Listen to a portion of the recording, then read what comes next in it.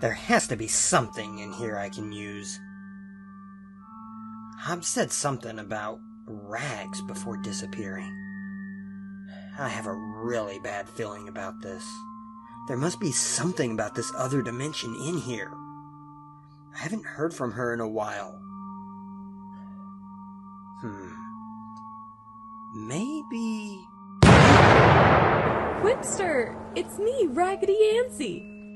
Rags! What are you doing? You nearly scared me to death. Well, if I was mortal, that is. You can't just pop in on an old puck like that. I'm glad to hear from you, though. Honestly, I was a bit worried.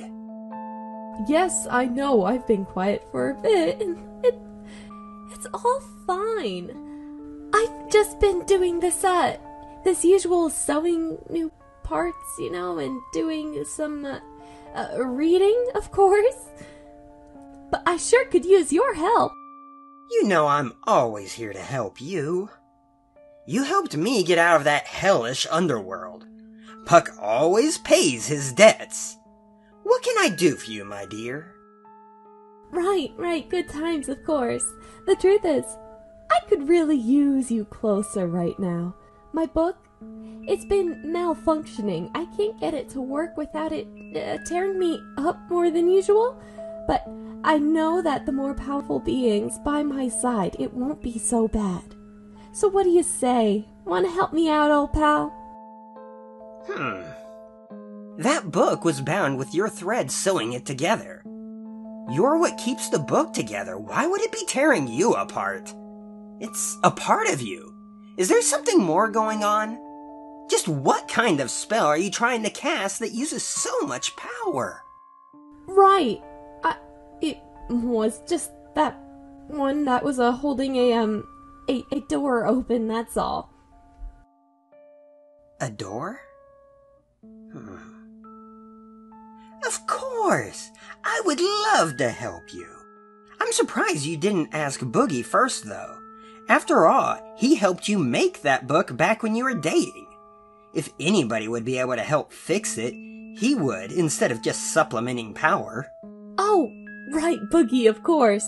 But as much as I would love to reach out to him and tell him that, um, uh, I'm sorry, I figured that it would be a lot easier for me to reach out to you. Besides, I'll be happy to see him once I open up the dimension and let him come through to visit.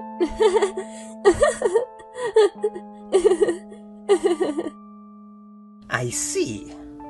Okay, Rags. I would be happy to help you. I would be happy to help banish you. You are not my Rags. Who are you? Rags would never have dated Boogie. She was always creeped out from him peeping on her through the closet and under the bed. He's the reason she slept with scissors under her pillow. Huh. So that's what these are for. It also explains why I haven't read about him in any of her letters. Damn, Hobbs. I knew that it would be smart of him to weaken you, but clearly it hasn't made you any dumber than you look. You, watch yourself, Rune. Rags told me about you. Her little pin pal from Hobbs' dimension. I warned her that talking to you would bring nothing good. So let me guess. You and Hobbs want our power. Is that it? Yeah. It may have weakened me a bit, but I'm still more than enough to deal with a cheap knockoff of Rags. If you were as powerful as the real Rags, I would have something to worry about.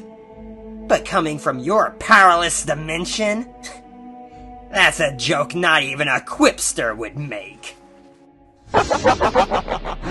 You don't know the half of me and Hobbs, do you? You don't know anything about the kinds of monsters we are, and the less you know, the better it will be for your health, Puck. It's not good for a jokester like yourself to get all serious like this. Who knows? You might even pose a threat sometime. I intend to bring Hobbs back, but don't worry, you and that silly, ungrateful princess aren't our targets. You were more like obstacles that have gotten in our way. You should be grateful we didn't lock you both in iron boxes and buried you alive. Though, I'm still strong enough for that to be arranged. Or your helpers, better yet. Let me ask you something, Quipster. If you don't know where Anzy is, how long will it take for you to realize that your helpers have gone missing? From what I hear, Hobbs has been looking for a way to punish his own for abandoning him. You soulless beast! Maybe if Hobbs hadn't treated her like a slave, and more like a companion, what a helper is actually supposed to be, she wouldn't have turned on him. If anything happens to my helpers, I'll personally use your own sinew to sew your mouth shut. Good luck eating heaps of peanut butter when you can't even open that big, boastful mouth of yours. Leave them out of this, and I will consider helping you. But first, what have you done with Rags? Why bother saying?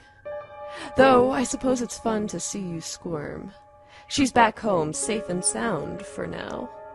You see, what's fun about being me is that once I jump to a different dimension, I can then go back and forth to it as I please. I can pull her in and out of any dimension of my choosing.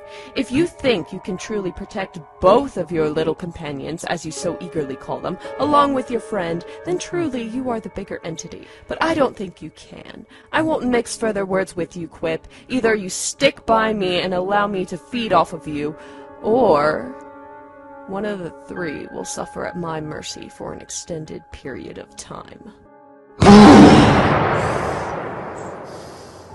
How could such a spiteful little being have gotten the best of Rags?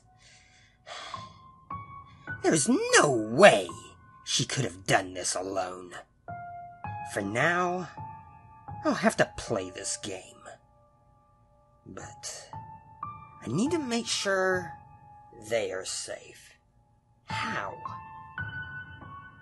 Ah. I'll send them to the one being I know nobody will want to mess with, including this arrogant copycat. There's no way she could get past a Reaper.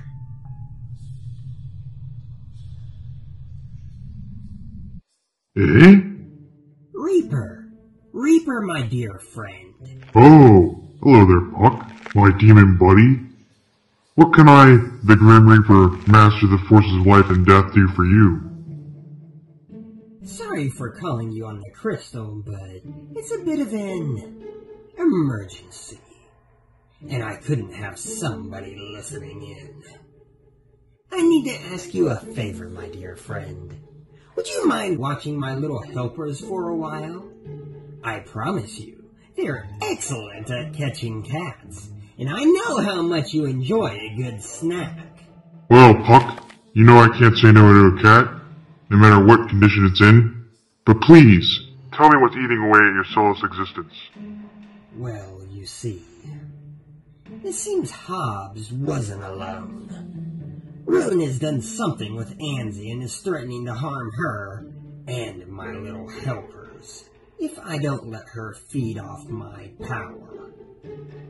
I need to ensure they're safe. So I may deal with this pest. Rune won't get away with this. This looks like a job for the Grim Reaper. I appreciate the offer, my friend. I know that you can easily dispatch her. Not many can rival the power of a Reaper, which is why I would like you to watch them. I have no doubt I could handle her one on one. However, she has Anzy trapped, and I have a strong feeling there's more to this situation than meets the eye. She mentioned something about holding a door open. I need to find out her plan and assist our favorite rag doll before dealing with her. Very well, Puck. We'll do it your way. Thank you very much. If you weren't all bones, I'd say you have a heart of gold. I will keep in touch, my friend. For now, enjoy the help getting some good meals. Take care, my friend, and good luck to you. Now, where did I put my cauldron? I've got a meal to prepare, and I think I'm in the mood for cat gut stew.